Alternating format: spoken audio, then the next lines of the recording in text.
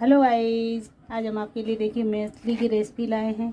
हमने मछली धोकर साफ़ कर ली है, इसमें हमने हल्दी और नमक लगा के रख दिया है, इसे हम फ्राई करेंगे। इसमें हम तेल डाल दिया है एक चम्मच। हम मछली को फ्राई करेंगे तेल में।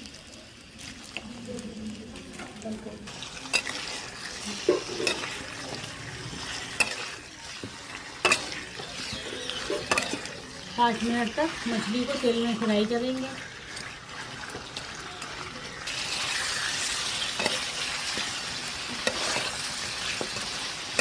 देखिए मेरी मछली फ्राई होने लगी है।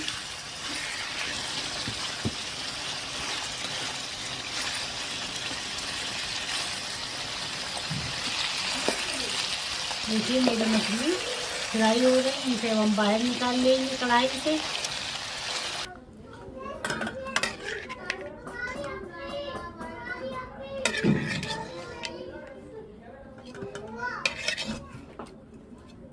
तेल डाल दे रहे हैं मछली के लिए।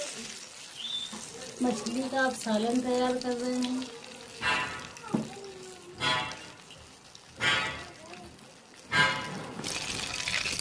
देखिए हमारा तेल होने लगा है, इसमें हम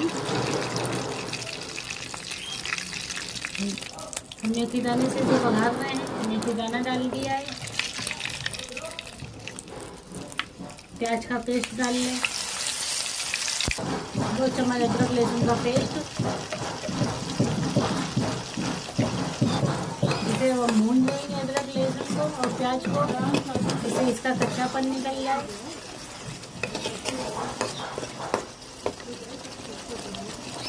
एक चम्मच धनिया पाउडर, एक चम्मच मिर्ची पाउडर, हल्दी, नमक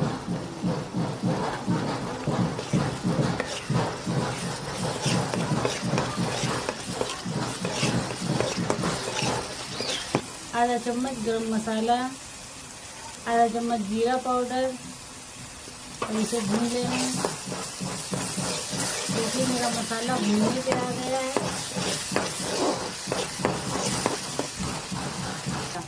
अब इसमें हम अपनी मछली डाल दे रहे हैं फ्राई की।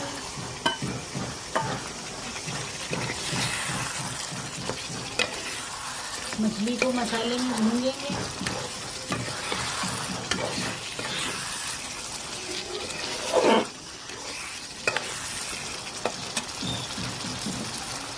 देखिए मेरा मसाला भूनने लगा है।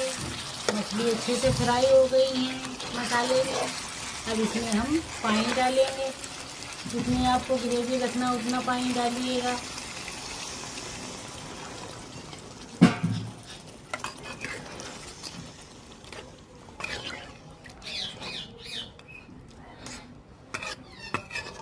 अब इसे ढक देंगे।